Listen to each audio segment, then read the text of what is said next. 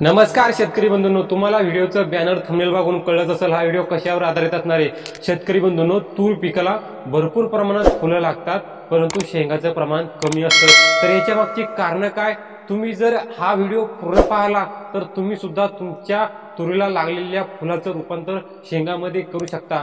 तर आजच्या व्हिडिओमध्ये आपण तीच माहिती जाणून घेणार आहोत की तुरीला फुलगळ का होते किंवा फुलगळ होऊ नये म्हणून काय केलं पाहिजे आणि तुरीचं फुलाचं रूपांतर शेंगामध्ये कसं करायचं तर ह्या ठिकाणी आपण आजच्या व्हिडिओमध्ये जाणून घेणार आहोत.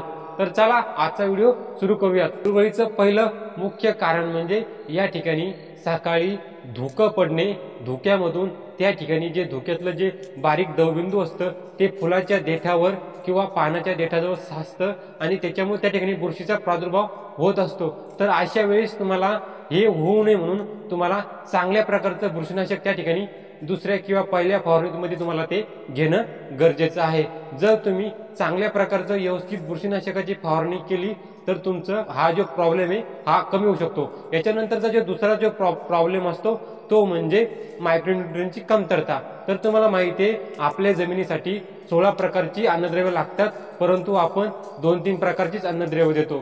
तर आपल्याला ह्यामध्ये काय असतं माहिती का? ज्या ठिकाणी बोरांची सुद्धा चांगल्या प्रकारची या ठिकाणी आपल्याला आवश्यकता राहत असते आणि आपण बोरांचा वापर या ठिकाणी करत नाही. तुरीचे जे पराक्रम आहे ते कमी असतात. तुरीचे पराक्रम वाढवण्यासाठी आपल्याला बोरांची फवारणी करणं गरजेचं आहे. जर आपण बोरांची फवारणी केली तर त्या ठिकाणी आपल्या तुरीची पराक्रम वाढून त्या ठिकाणी ते फुलगळ होणार नाही. त्या फुलाचं चांगल्या प्रकारे शेंगीमध्ये रूपांतर होईल. त्याच्यानंतर समोरचं कारण काय माहिती का? आता आधुनिक या ठिकाणी पद्धती आलेल्या आहे. तूर पिकाची जर आपण शेंडे वगैरे खुडणी करू केली असेल तर त्याला जास्तीत जास्त फळफांद्या लागतात जास्तीत जास्त फुलं लागतात.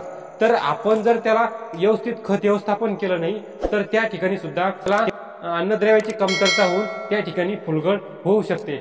जर आपल्याला अन्नद्रव्य व्यवस्थापन चांगलं करणं हे गरजेचं आहे त्या ठिकाणी सूक्ष्म अन्नद्रव्याची फवारणी करणं गरजेचं आहे आणि त्याचबरोबर चांगल्या बुरशीनाशकाची सुद्धा फवारणी करणं गरजेचं आहे. तुम्ही हे दोन तीन पॉईंट जर लक्षात ठेवले तर हमखास तुम्हाला तुरीमध्ये चांगल्या प्रकारचं या ठिकाणी उत्पादन मिळणार आहे. धन्यवाद.